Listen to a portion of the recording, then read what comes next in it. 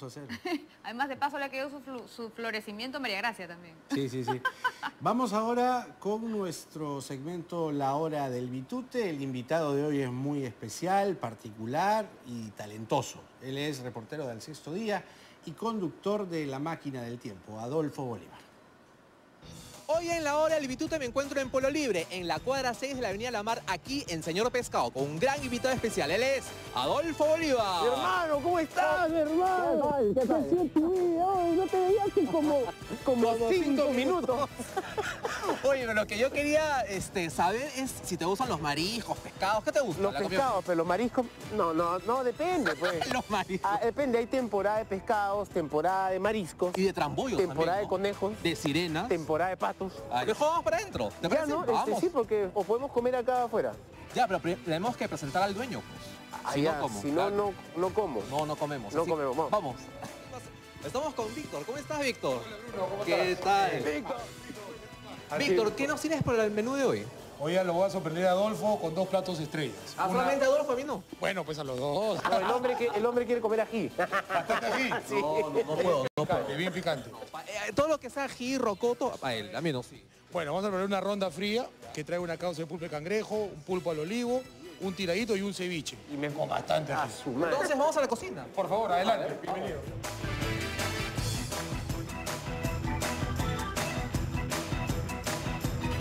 Bueno, señores, la mesa está servida aquí con Adolfito Bolívar. Adolfito, ¿cómo estás después de tiempo que te veo? Con hambre, hermano. Ya. Te vemos en la máquina del tiempo para empezar. Viernes 9 de la noche. ¿Qué tal el primer programa? Un parto.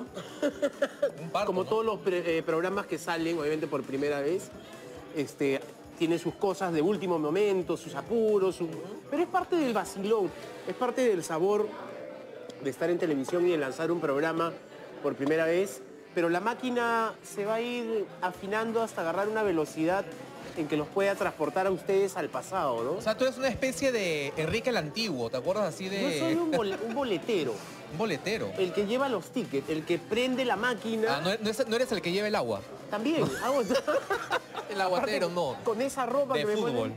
La idea es que todos ustedes sientan que es una máquina en la cual gratis se pueden transportar a los mejores años de su vida.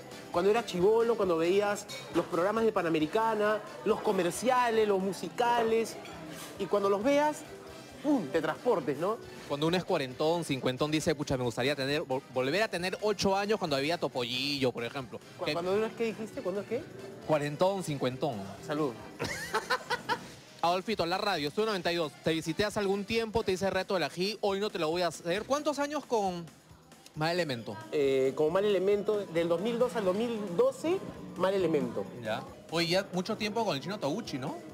¿Ya son pareja ustedes, no? Este, todavía no vivimos juntos. Es un matrimonio radial. ¿Qué, qué es lo que te ha- lo más gracioso que te ha pasado? ¿Qué te han dicho por teléfono? ¿Te han insultado? ¿Te han mentado la madre? Te de, han- ra- de la radio. De la radio, ajá. Bueno, el tema de la radio con los oyentes es abs- absolutamente sincero, ¿no? Saben que el programa es bien pendeís.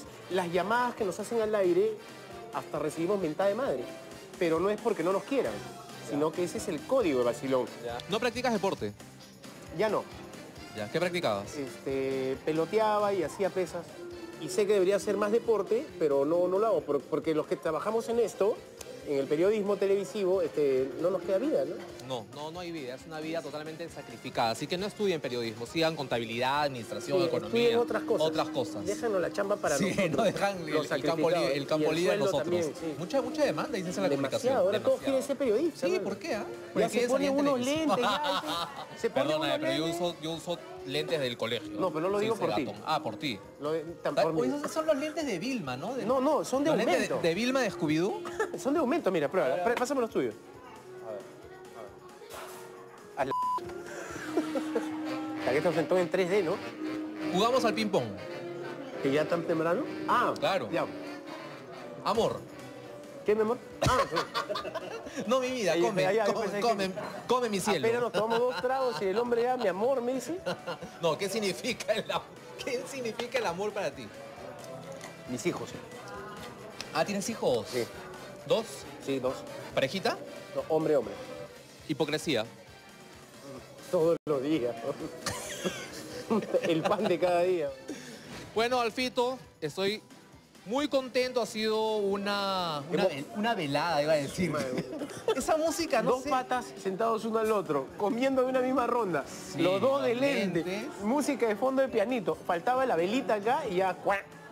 Bueno, Alfito, te agradezco que hayas estado en la hora del bitute. Eh, Bueno, que sigan los éxitos Gracias. con Al Sexto Día y también con La Máquina del Tiempo, ¿no? Los viernes a las 9 de la noche. Adelante, estudio. Gracias. Salud. Todos los éxitos para Adolfo Bolívar. ¿ah? Claro que sí, un abrazo grande. Además es tan divertido, Adolfo. No, y muy talentoso. además. Talentosísimo. Nuestras felicitaciones y que sigan los éxitos. Por supuesto que sí. Vamos a la pausa. Pero al volver...